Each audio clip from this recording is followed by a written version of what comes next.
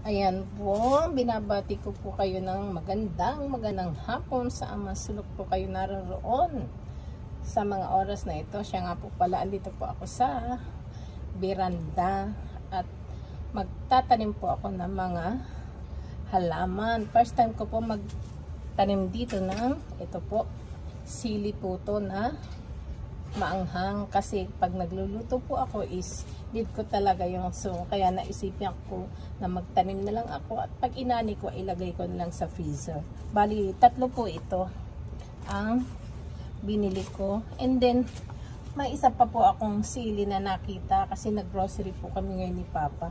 Ito po. Ayan. Bali dalawa po ang binili ko for today. At meron po ako. Susubukan na. Magtanim po ako ng talong. Ayan nga po oh, may bulaklak na. So bali dalawa po ito. Yan magkukulay. At syempre ang di mawawala na lagi kong pinangarap ito po oh, malunggay. Kasi bala ko po yung mga dahon is kunin ko and then lagay ko sa freezer din para pag nagluto ako ng mga ginisa o munggo ay may magagamit ako at saka di mawawala po ang kamatis. Ang sweet, ang sweet.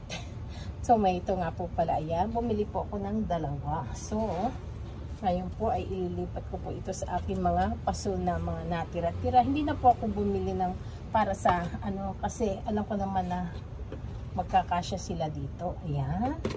At bumili rin po pala ko ng ayan po. Ayan po ang gagamitin ko na lupa for today. Ayan, marami po akong anik-anik dito sa maliit na balkon na to. Ayan. Unahin po natin itanim ay ah, ito po. Ito po ayan, ang una kong ilalagay dito. Dito ko po ilalagay. Ayan. Magsisimula na po ay mag ay hirap po talaga ng mataba. Kumilos. Ayan, medyo medyo medyo medyo first time ko po talaga magtanim ng ganito vegetable. Naisipan ko lang po kasi sayang naman. I-try. Para pag nagluto ako is hindi na ako maghahanap na ay, need ko pala ito. Ayan. Try, try lang. Walang masama. So, dito po natin ilalagay yung siling tabasco. Tsaka maanghang talaga to. Kasi sa kulay pa lang ay pulang-pula na yan. Ito pa yung mga tira-tira kong kaso sa akin. Mga halaman. Ayan. Hindi pa ako makakilos ng kilos ano, sexy. Sexy na kilos. Ayan. Ito po natin ilagay. Naku, mukhang mababa. Mababa po ang tayo ng camera. Medyo ayusin po natin. Ayan po. At tayo magsisimula na pong maglagay ng lupa. Dito, ayan, medyo ayusin po natin ang camera. At parang mabuti. Ayan po. Ayan. Ay, ito pala ang tama. Ayan po, guys. Ayan. Ayan, mag mag-aano na po tayo na lupa. Ayan, first time ko po talaga. At sana po ay dumami ito ng marami. Tagay na po natin ang Ayan, makamanghang. Dadalawahin ko po. Yes. Lagay-lagay na. Ayan. Sana ay pumunga ka ng marami. Ayan. Ganda. Ayan. Ang hirap ang pumilos lang. Masikip. Masikip lang po dito sa aking veranda na ito. Ayan. Dadalawahin po natin ang yung pagtatanim. And then, dadagdagan po uli natin ng lupa. Ayan, hihingal-hingal po ako. Ayan, sana po ay bumunga sila ng marami. Ayan.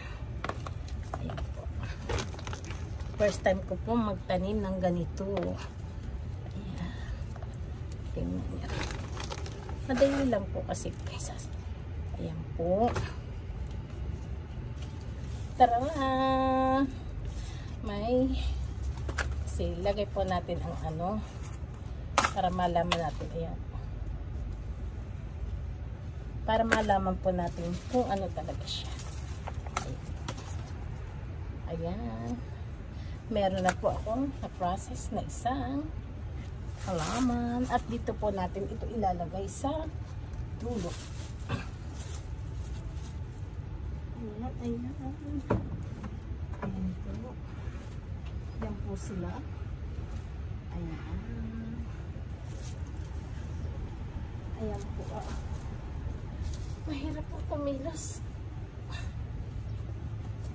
Ayan po. Sana medyo ma... At ito po naman ang isusunod ko. Ito po ay sili din. Kaya lang siguro ito yung pulang-pula. Pulang-pulang ang hangin. Ayan. Kala po ni Papa doon po sa isang house dadalay.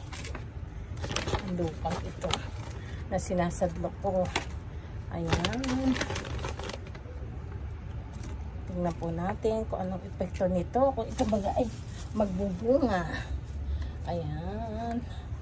Ayan po. Yay. Dali lang po yan. Ayan. Sadlak-sadlak lang. Sa totoo lang po, sa tagal-tagal po ngayon lang po ako magtatanim. Yan. Ginawa ko na po tatlo para marami-rami po ako na i-save na bunga. Kasi gagamitin ko rin naman sa aking pagluluto. Ayan po. Ang pagtatanim ng inyong tita sa balkon ng isang house. Ayan po. Wow! Sana bumunga ka ng marami. tanim-tanim sa loob ng bahay. Ayan po. See? Wow! Parang totoo. Sana po ay magbunga ka ng marami. Para, ayan. Tsaka po yung ano, dahon ito. Masarap sa tinolang manok. Ayan. Yay! Tingnan. Yan na po. May tatlo na pa ako. Ayan. Pangalawa po ito. Sili pa rin. Ayan. At dito po natin ilalagay din sa taas.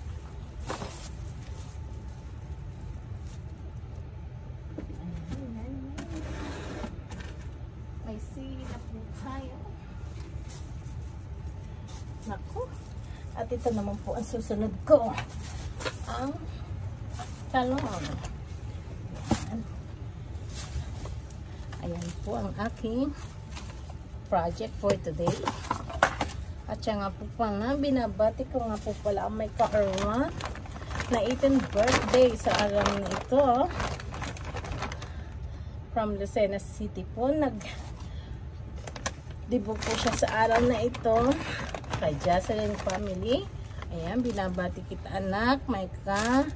Be a good girl, huwag mo mag-aasawa. Tumulong mo na sa pamilya. Okay. Ayan, may kasama pang pagbati hama.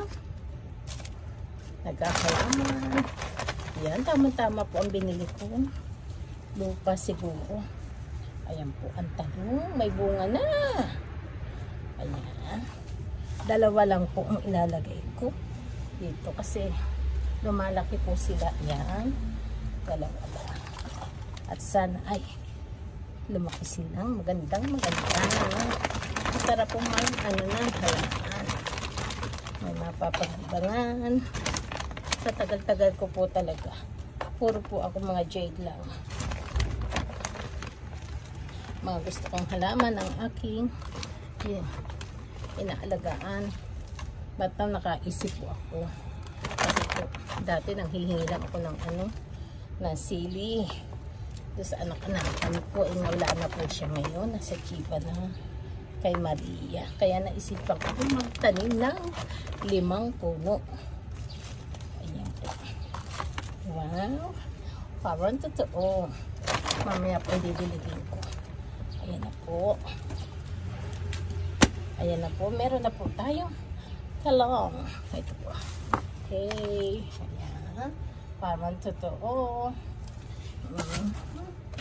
Ayan po. Ito po ang aking ibangan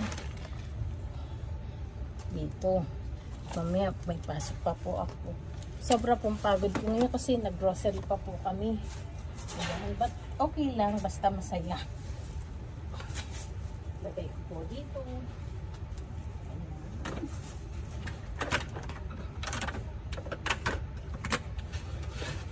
Wow, wow.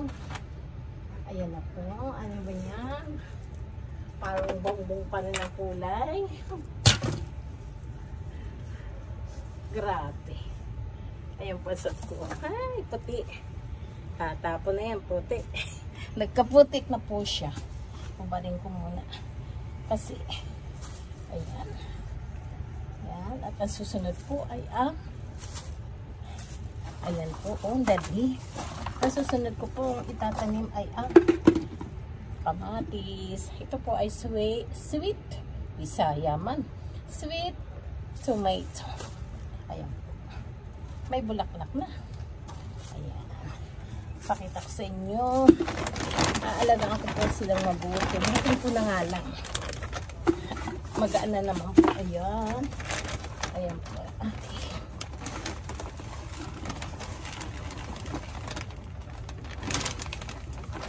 Yay.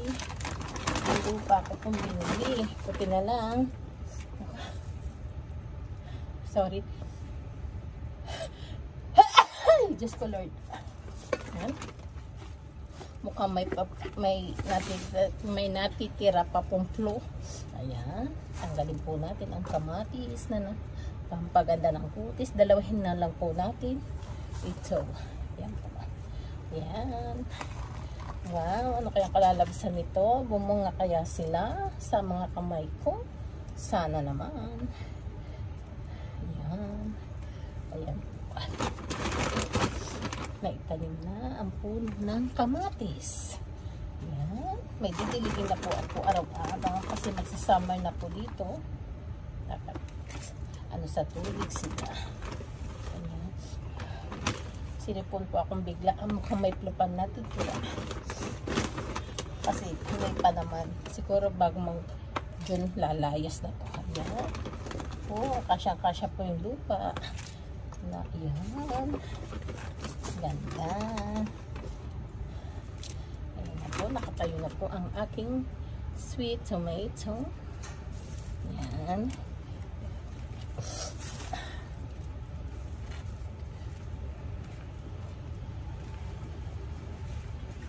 Ayan po. Pagsasabitan po sila. Ayan. Dapat po pala ito ay tutukuran ko para hindi po siya matumba kasi parang matutumba bibigay ayan na po yes ayan ayan na po ang aking kamatis naiayos ko na po at dadagdagan po natin na lupa kasi bumubuhay sila ayan wow may talong may ano buhay na buhay. Sinipon na nga talaga ako. Ayan guys. Tingnan niyo. Ayan. May kamatis. Dito ko. Ayan po. Pakita po sa inyo ang kamatis. Ayan po. Wow naman. May kamatis na. May dapat po pala siya ay may tusok. Ayan, meron po ako. May pantusok po ako. Ayan. Gamitin po natin hanggang hindi po nata ayun po at tutusok natin para siya po ay may kapita ayan ay langgan yan patali ako na lang po mamaya yan meron na po at ang last po na itatalim po ay ang ampalaya. Bali po, kaya ang purpose ko po dito is pag lumaki na is kukunin ko po yung mga dahon at ipakuluan ko, i-ano lang sa range sa uh, toast, uh, range para doon ko, para hindi po siya malabog na labog and then lagay ko po to sa freezer para pag magluto po ako ng mga ginisa like I add ko po to sa munggo ayan, yun po ang purpose ko. Dahon lang. Syempre pag may bunga thank you pa rin. May panggisa. Yan.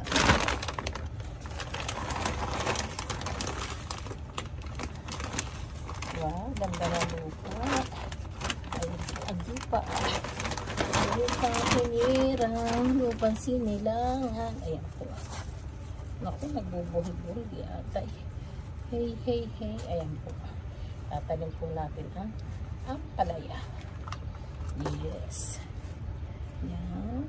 Gagawin ko pong tatlo na lang para kasi wala na po akong paso. Ito po yung mga tira ko sa mga nang naghalaman ako is kaya hindi na po ako bumili kasi sayang naman.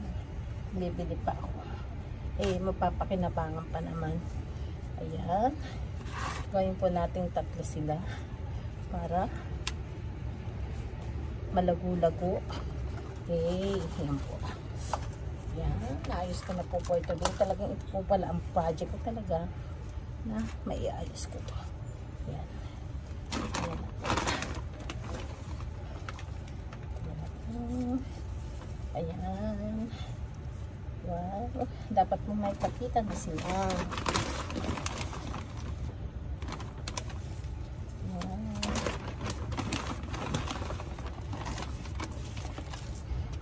Ay, may sobra pa lupa.